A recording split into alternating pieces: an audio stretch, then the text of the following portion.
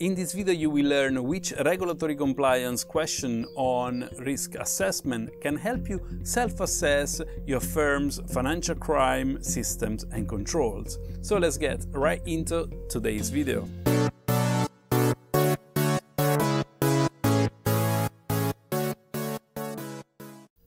Hi and welcome to FinCrime Agent. This is my YouTube channel where I'm talking about financial crime prevention and anti-money laundering related topics.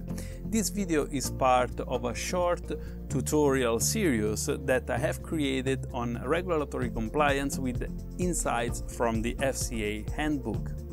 The aim of these tutorials is to support professionals working in the financial crime prevention with the assessment of key areas within systems and controls.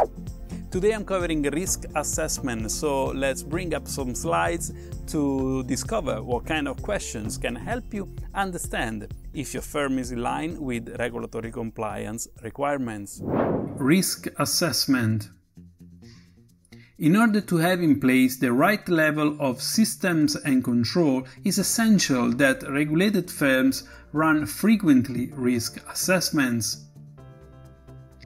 The risk assessment must allow firms to identify their exposures to areas of financial crime based on their product, geographies, where the firm operates, their customers and customer driven risks, transaction volume and value, and the overall complexity of the firm.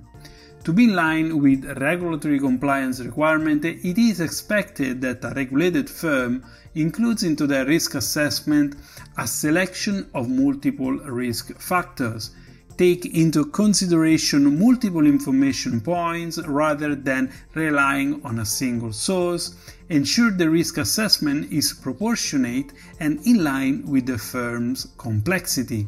In addition to the business-wide risk assessment, it is important that a regulated firm also completes periodically a risk assessment specific for its business relationships for an accurate evaluation of financial crime risks escalated to their clients. Some questions to self-assess your compliance to the risk assessment regulatory requirements could be Are the main financial crime risks highlighted in the risk assessment. When was the last risk assessment completed?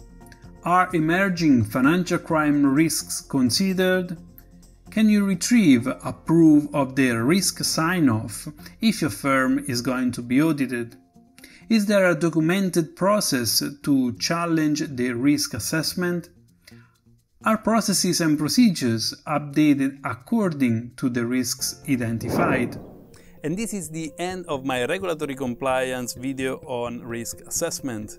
If this tutorial was useful to you, support my channel by subscribing to FinCrime Agent. In the description of the video you will find the other links for the free parts also recorded on regulatory compliance systems and controls. So that's all for today. I hope you have enjoyed and thank you for watching. Until next time, see you soon.